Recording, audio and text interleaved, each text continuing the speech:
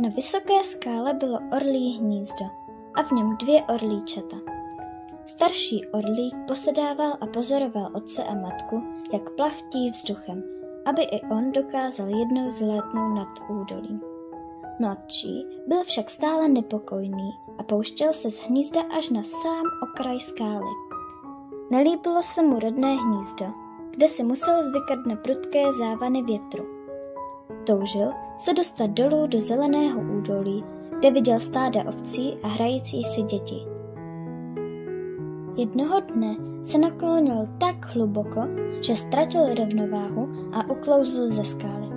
Začal sice mávat křídly, ale křídla ho ještě neunesla. Klesal dolů, narážel na skálu a nakonec dopadl pod ní celý potlučený a zakrvácený. Tak ho večer našli děti z vesnice.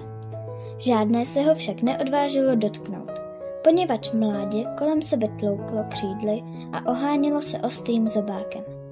Nakonec musel přijít z vesnice dospělý muž, který přehodil přes orlíče pytel a odnesl je k sobě na dvůr. Orlík se tedy dostal dolů do údolí, po kterém toužil, ale šťastný nebyl.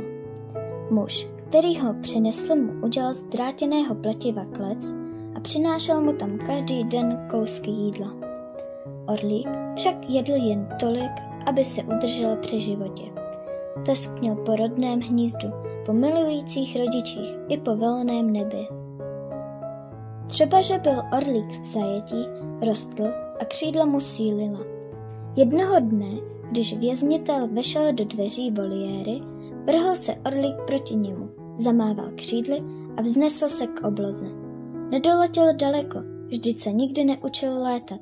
Přece jen se však dostal neumělým letem až na výčnělek rodné skály. Odkud pak postupně přelétával výš a výš. Domů, domů, to bylo jeho jediné přání. Když se však dostal až pod vrcholek, začal se lekat. Nezaženou mě otec a matka? Přijmou mě k sobě? Nezahnali ho. A když orlík večer usínal tam, odkud si kdysi přál uletět, byl šťastný jako nikdy předtím.